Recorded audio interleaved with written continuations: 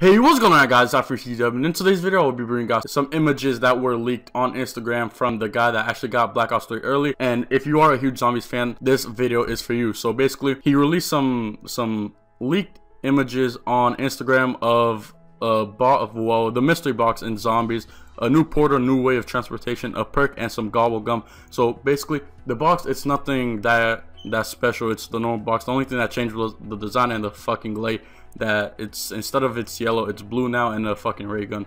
And going to the next thing which was the portal it's a new way to, of transportation because supposedly what i've heard from the creators and a whole bunch of other youtubers that the shadow of evil map is like 10 times bigger than the normal fucking Der Riese map or Kino der Toten. It took two and i think a half two and a half years if you guys watch the podcast he basically explained it took two and a half years for them to make shadow of, shadows of evil. So the portal is a good way of transportation and they do also have other things like a trolley, a train, and all this other kind of cool shit.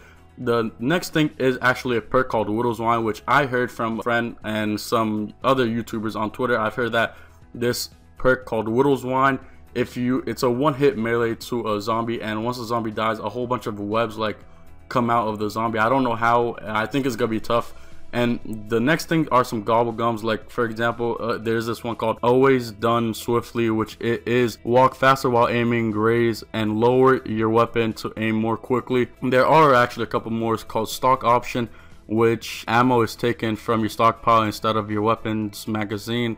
There's other one called In Plain Sight. You are ignored by zombies for 10 seconds. I'm not even gonna pronounce it. I really can't even pronounce it. So it's basically a longer bleed out time, which I think I'm gonna be using that fucking gobble gum a lot, guys.